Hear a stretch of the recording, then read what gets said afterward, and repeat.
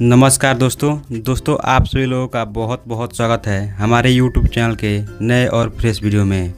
दोस्तों, आज के इस वीडियो में बताएँगे थायराइड की समस्या को कैसे दूर किया जा सकता है। दोस्तों, थायराइड की समस्या टेंशन, खाने में आयोडीन की कमी या फिर आयोडीन का ज़्यादा इस्तेमाल करने से दवाओं के साइड इफ़ेक्ट।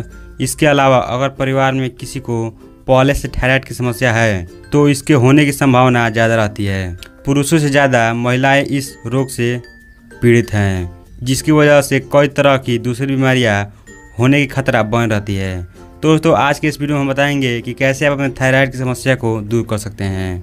तो फ्रेंड चलिए शुरू करते हैं आज के इस बेहतर नुस्खे को।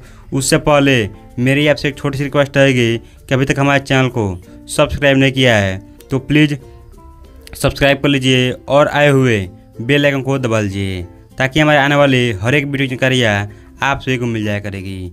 तो फ्रेंड, चलिए शुरू करते हैं आज के इस बेहतर नुस्खे को। तो आपको इसमें सबसे पहले लेना होगा वो फ्रेंड तो फ्रेंड्स, आपको इसमें सबसे पहले लेना होगा दो कप पानी। और उसके बाद से आपको ज़रूरत पड़ेगी दो चम्मच अलसी के बीज को।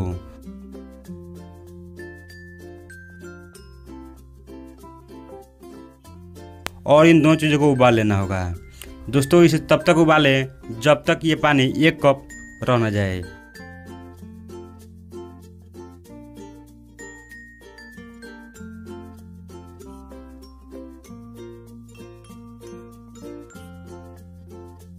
और इसे उबाल लेने के बाद आप इसे छन्नी की मदद से छान लीजिए। और छान लेने के बाद आप इसे रोज़ाना सुबह सुबह खाली पेट सेवन कीजिए। दोस्तों, यह उपाय आपके हाइपरथायराइड्स या फिर हाइपोथायराइड्स दोनों प्रकार के थायराइड्स को बहुत ही सन से ख़त्म कर देता है। और दोस्तों, आप इसका इस्तेमाल लगातार तीन से चार दिन तक इस्तेमाल करते हैं तो आप पाएँगे क्योंकि हाइपोथायराइड्स और हाइपरथायराइड्स दोनों समस्याएँ बहुत ही आसान से ठीक हो जाएगी। तो फ्रेंड्स, ये थी हमारे तो फ्रेंड्स, ये थी हमारी आज की जानकारी। अगर दोस्तों, हमारी जानकारी आपको अच्छी लगी हो तो इस वीडियो को लाइक कर दीजिए और हमारे चैनल को सब्सक्राइब कर दीजिए। तो हम मिलते हैं आपसे अगले वीडियो में। तब तक के लिए आप सभी का बहुत बहुत धन्यवाद।